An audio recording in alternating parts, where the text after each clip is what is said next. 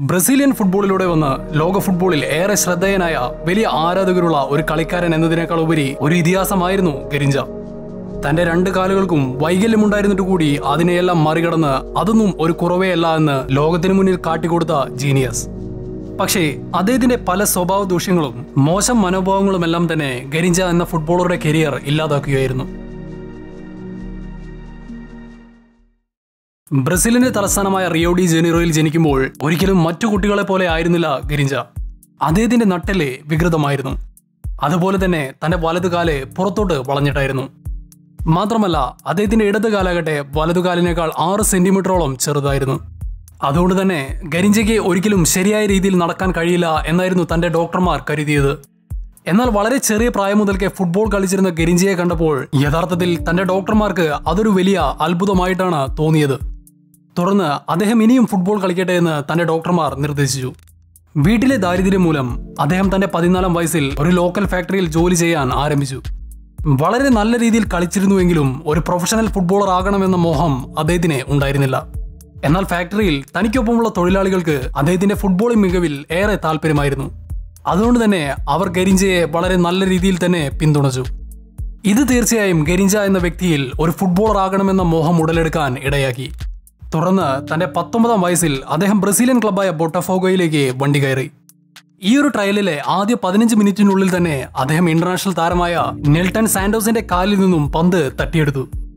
തീർച്ചയായും അവിടുത്തെ സ്റ്റാഫുകളെല്ലാം തന്നെ ഗരിഞ്ചയുടെ പ്രകടനത്തിൽ തീർത്തും ഇംപ്രസ്ഡ് ആയി. അതുകൊണ്ട് തന്നെ അദ്ദേഹത്തെ ബൊട്ടഫോഗോ ടീമിലെടുത്തു. ശേഷം ആയിരത്തി തൊള്ളായിരത്തി അമ്പത്തി മൂന്നിലാണ് ടീമിനു വേണ്ടിയുള്ള തന്റെ ആദ്യ മത്സരത്തിന് ഗരിഞ്ച ഇറങ്ങുന്നത്. എന്നാൽ തന്റെ ആദ്യ മത്സരത്തിൽ തന്നെ ഒരു സബ്സ്റ്റിറ്റ്യൂട്ടായി വന്ന ശേഷം ഹാട്രിക് നേടിക്കൊണ്ട് തന്റെ റേഞ്ച് എന്താണെന്ന് അദ്ദേഹം ആരാധകരെ ബോധ്യപ്പെടുത്തി. എല്ലാ പ്രതിഭാശാലികളെയും പോലെ മത്സരത്തെക്കുറിച്ച് വളരെ ലളിതമായ കാഴ്ചപ്പാടായിരുന്നു ഗരിഞ്ചയ്ക്ക് ഉണ്ടായിരുന്നത്. അതുകൊണ്ട് തന്നെ ഏറെ ആസ്വദിച്ചുകൊണ്ടായിരുന്നു അദ്ദേഹം കളി മെനഞ്ഞത്. ശാരീരികമായ പ്രശ്നങ്ങൾ ഒരിക്കലും തന്റെ കരിയറിനെ സംബന്ധിച്ചിടത്തോളം ഒരു വിലങ്ങതടി ആയിരുന്നില്ല. മറിച്ച് തന്റെ കാലിന്റെ വളവ് അദ്ദേഹം ഒരു അഡ്വാന്റേജായി മാറ്റിയെടുത്തു. അതെങ്ങനെയാണെന്നാൽ തനിക്കെതിരെ വരുന്ന ഡിഫൻഡർമാരെ കബളിപ്പിക്കുന്നതിനായി തന്റെ കാലുകൾ വളരെ എളുപ്പത്തിൽ പ്രാവർത്തികമാക്കാൻ ഗരിഞ്ചിക്ക് സാധിച്ചിരുന്നു. ആയിരത്തി തൊള്ളായിരത്തി അമ്പത്തി അഞ്ചിൽ റിയോ ഡി ജനറോയിൽ ചിലിക്കെതിരായുള്ള മത്സരത്തിലായിരുന്നു ഗരിഞ്ചയ്ക്ക് തന്റെ നാഷണൽ ടീമിനു വേണ്ടിയുള്ള ആദ്യ മത്സരത്തിന് അവസരം ലഭിച്ചത്. മൂന്ന് വർഷങ്ങൾക്ക് ശേഷം അതായത് ആയിരത്തി തൊള്ളായിരത്തി അമ്പത്തി എട്ടിൽ അദ്ദേഹം തന്റെ ആദ്യ വേൾഡ് കപ്പും കളിച്ചു. എന്നാൽ ഇതേ ടൂർണമെന്റിൽ തന്നെയായിരുന്നു പതിനേഴുകാരനായ സാക്ഷാൽ പെലെ തന്റെ രാജ്യത്തിനു വേണ്ടിയുള്ള ആദ്യ ലോകകപ്പിനെ അരങ്ങേറിയത്. ജൂൺ പതിനഞ്ചാം തീയതി നടന്ന അവസാന ഗ്രൂപ്പ് മത്സരത്തിൽ ബ്രസീൽ കരുത്തരായ സോവിയറ്റ് യൂണിയനെ നേരിടുകയുണ്ടായി. മത്സരത്തിന് മുന്നോടിയായി ബ്രസീലിയൻ പരിശീലകനായ വിസന്റെ ഫിയോള തന്റെ ടീമിൽ ധീരമായ രണ്ട് മാറ്റങ്ങൾ വരുത്തുകയുണ്ടായി.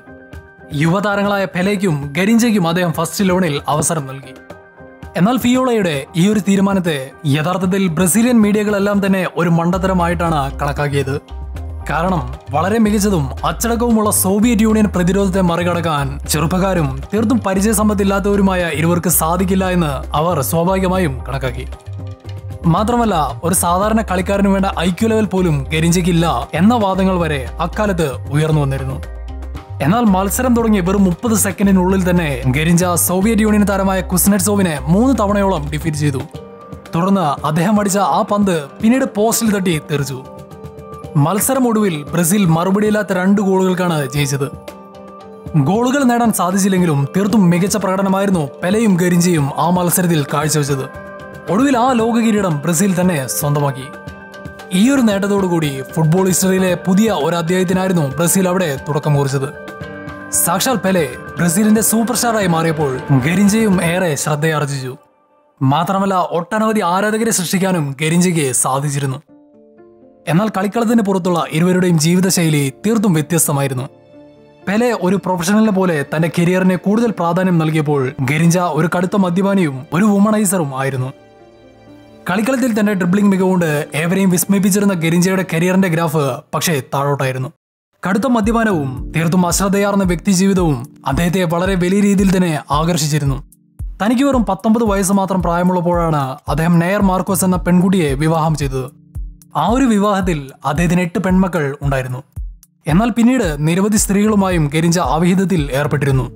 ഒടുവിൽ തന്റെ മുപ്പത്തിമൂന്നാം വയസ്സിൽ ഇനി ഇനിയൊരിക്കലും തനിക്കൊരു പ്രൊഫഷണൽ ഫുട്ബോളർ ആകാൻ സാധിക്കില്ല എന്ന യാഥാർത്ഥ്യം ഗരിഞ്ച തിരിച്ചറിഞ്ഞു.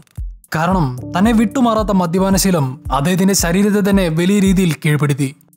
തന്റെ മുട്ടുകൾക്കും ചില പ്രശ്നങ്ങളുണ്ടായിരുന്നു എന്നിട്ടും ഒരു ഡോക്ടറെ കാണിക്കാൻ പോലും അദ്ദേഹം തയ്യാറായില്ല. ഗരിഞ്ചയുടെ ഈ പ്രവർത്തികളും ജീവിതശൈലിയും എല്ലാം തന്നെ മാധ്യമങ്ങളിൽ ഏറെ ചർച്ചാ വിഷയമായിരുന്നു. നിരവധി ആരാധകർ ഒടുവിൽ അദ്ദേഹത്തെ വിമർശിച്ചു. ഒരിക്കൽ അദ്ദേഹം മദ്യപിച്ചുകൊണ്ട് കാർ ഓടിക്കുകയും ഒരു ആക്സിഡന്റിൽ ഏർപ്പെടുകയും ഉണ്ടായി. എന്നാൽ ഈ ഒരു ആക്സിഡന്റിൽ അദ്ദേഹത്തിന് വളരെ സാരമായി മാത്രമേ പരിക്കേറ്റിരുന്നുള്ളൂ എങ്കിലും തന്റെ മദർ ഇൻ ലോ അപകടത്തിൽ മരണപ്പെട്ടു. തന്റെ രണ്ടാം വിവാഹത്തെ തുടർന്നുണ്ടായ പ്രശ്നങ്ങളും അദ്ദേഹത്തെ വലിയ രീതിയിൽ തന്നെ അലട്ടിയിരുന്നു. ആയിരത്തി തൊള്ളായിരത്തി എൺപത്തി മൂന്ന് ജനുവരി ഇരുപതിന് തന്റെ നാൽപ്പത്തി ഒമ്പതാം വയസ്സിലാണ് ഗരിഞ്ച മദ്യപാനത്തെ തുടർന്നുണ്ടായ രോഗങ്ങളാൽ മരണപ്പെടുന്നത്. ബ്രസീലിലെ തന്നെ ഏറ്റവും വലിയ സ്റ്റേഡിയങ്ങളിൽ ഒന്നായ മാരക്കാനയിൽ വെച്ച് നടന്ന തന്റെ സംസ്കാര ചടങ്ങിൽ ഏകദേശം ഒരു ലക്ഷത്തോളം ആളുകളായിരുന്നു പങ്കെടുത്തിരുന്നത്. ബ്രസീലിന്റെ ആയിരത്തി തൊള്ളായിരത്തി അമ്പത്തിയെട്ട് ആയിരത്തി തൊള്ളായിരത്തി അറുപത്തിരണ്ട് എന്നീ വർഷങ്ങളിലെ ലോകകപ്പ് നേട്ടത്തിൽ വലിയ പങ്കുവഹിച്ച വ്യക്തിയായിരുന്നു ഗരിഞ്ച. ബൊട്ടഫോഗയ്ക്ക് വേണ്ടി ഇരുന്നൂറ്റി നാൽപ്പത്തിയഞ്ച് ഗോളുകൾ അദ്ദേഹം നേടുകയുണ്ടായി. ലോക ഫുട്ബോളിലെ ചില മഹാപണ്ഡിതന്മാർ ഗരിഞ്ചയെ പെലയേക്കാൾ മികച്ച കളിക്കാരനായി ഇന്നും കണക്കാക്കുന്നു.